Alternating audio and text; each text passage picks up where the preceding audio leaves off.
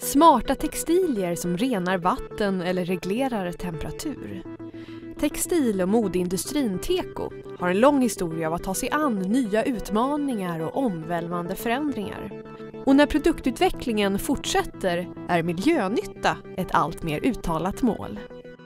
Man arbetar på många olika sätt med miljönytta inom textilbranschen. Från att ha varit en sidofråga eh, för tio år sedan så är miljöarbete en central fråga för svenska företag. Och branschens ambitioner att utveckla nya miljöeffektiva textilprodukter har stor potential.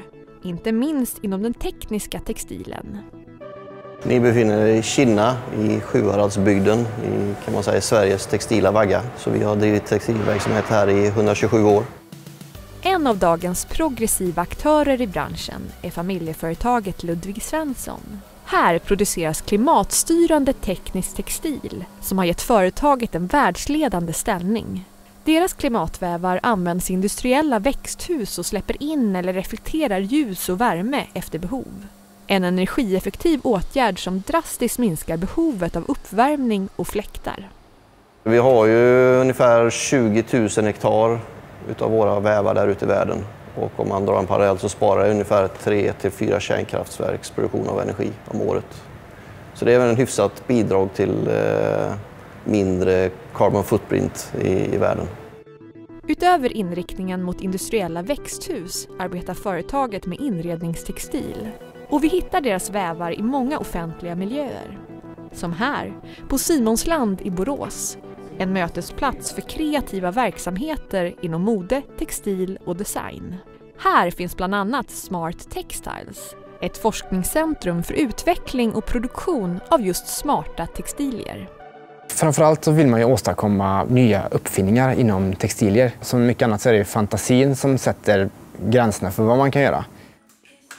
Smart Textiles är en del av Textilhögskolan som i sin tur är med och driver utvecklingen av miljöfrågor i branschen. Det som har hänt de senaste två, tre åren kan man säga, det är att de stora mode och skoföretagen men också textilföretagen har gått tillsammans och eh, tagit ett gemensamt grepp kring miljöfrågorna. Målet med det här arbetet vi gör då är att i framtiden ska vi kunna kommunicera miljöpåverkan från ett plagg till konsumenten. Så att på kvittot, på en etikett, via din smartphone eller ett, via ett kommunikationsmedel ska man kunna få reda på hur mycket hur bra ditt plagg är ur miljösynpunkt men även ur social synpunkt. Och att minska sin egen miljöpåverkan i själva produktionen är något som även Ludvig Svensson arbetar med. För trots att anorna är gamla så har siktet alltid varit inställt mot en hållbar framtid. Ja, vi har alltid jobbat väldigt proaktivt med miljöfrågorna och det har varit största fokus i företaget. Vi startade under 70-talet ett samarbete med Länsstyrelsen och branschorganisationen för teko och även eh, våra konkurrenter runt omkring. Ett arbete, ett samarbete där vi tittade på miljöfrågor, drev dem framåt. Så att ett proaktivt arbete och ett samarbete det är någonting som vi tror på. För textilbranschen handlar det alltså om två utmaningar inför framtiden. Att dels minska sin egen miljöpåverkan, men även att vara med och bidra till minskade utsläpp genom nya innovationer. Jag tror säkert att det kan finnas mera, om vi kallar det nischapplikationer, där man kommer att kunna använda textilier i framtiden för just att minska belastningen på miljön. Och vi är inte färdiga än med att utveckla funktionaliteten i våra egna textilier. Vårt bästa bidrag är att utveckla vävar för växthus som sparar ytterligare 1% mer energi.